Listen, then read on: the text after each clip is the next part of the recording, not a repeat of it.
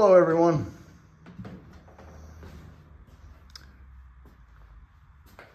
Today I, after a long fight with my soul, I came out here in the cold garage and started construction of fuselage bulkhead 3.0.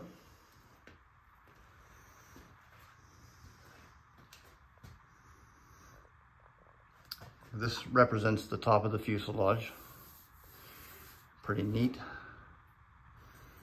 The flight engineer panel sits six inches from the face of bulkhead three to the face of this panel. Gives me a really good idea of the, of the direction in which I'm heading. This will allow me to study existing pictures of B-36s so I can see exactly where that flight engineer panel needs to go now that the bulkhead's up. Let's go over here and have a look at the other side. So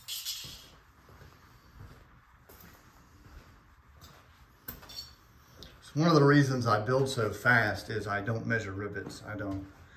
Um, on external surfaces, for beautification purposes, they're every one inch, but when you get into surfaces that you won't see, like this bulkhead, I just take the drill and I just kind of have at it, close to every one inch. Convair used, they used a lot more rivets. They were exactly one inch apart and every half inch there was one down here. So, I mean, but I don't want to spend a year to build this bulkhead. That's all there is to it. And it would probably take a year using the exceptional craftsmanship methods that guys that are restoring real aircraft, quote unquote. I'm not gonna go as far to say this is a real airplane, but it's about as close as you can get in a, a garage with a very small budget that I have. I want to mount the acquire and mount the big mast antenna that goes back here. I'm, I don't know how far I'm going to continue this fuselage back. I mean, I could continue it back as, as far as I wanted to, provided it'll fit on a trailer. I guess 102 inches. I could easily build the entire radio, radio operator compartment. I mean, like I say, the performance of the aircraft construction depends solely on the performance of my YouTube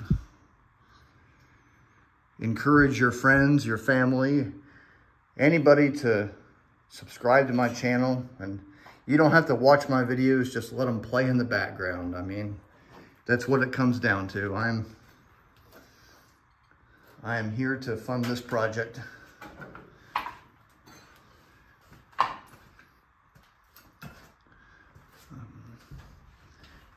Somebody uh, got a hold of me on YouTube and emailed me a bunch of pictures of the inside of uh, RB36H51730 or 13730.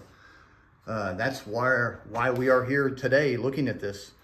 It answered a lot of questions. I've been uh, searching for the answers to these questions for, you know, I've been working on this for three years and pretty much every night when I get done building, I go downstairs and compare my pictures to existing aircraft and look for more pictures of things that, you know, I need or will need.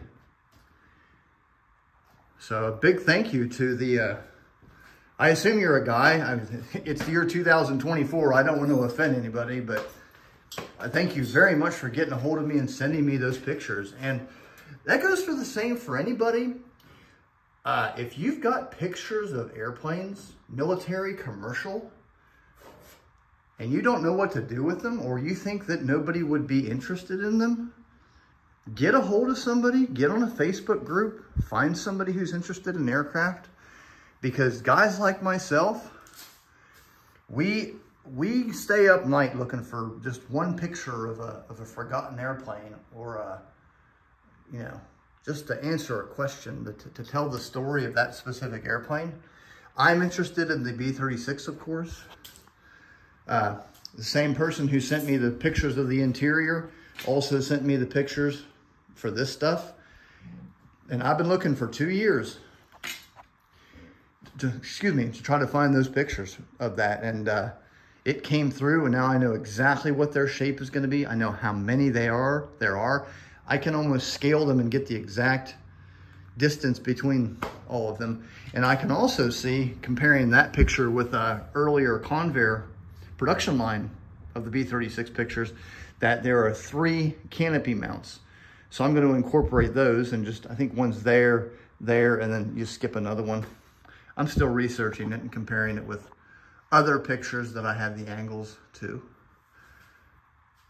But yeah, uh, for me specifically, if you've got any pictures of B36s you don't know what to do with, send them to me. Get a hold of me and I'll get them to the right place because you could have a picture of a B36 that would, you know, keep, oops, keep me up all night. Just absolutely make my day.